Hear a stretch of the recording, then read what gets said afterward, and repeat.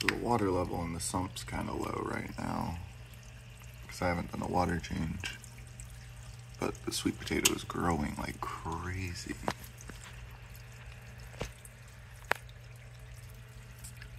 And the pothos, I need to trim still, it's not doing well. But the sweet potato vine is doing great.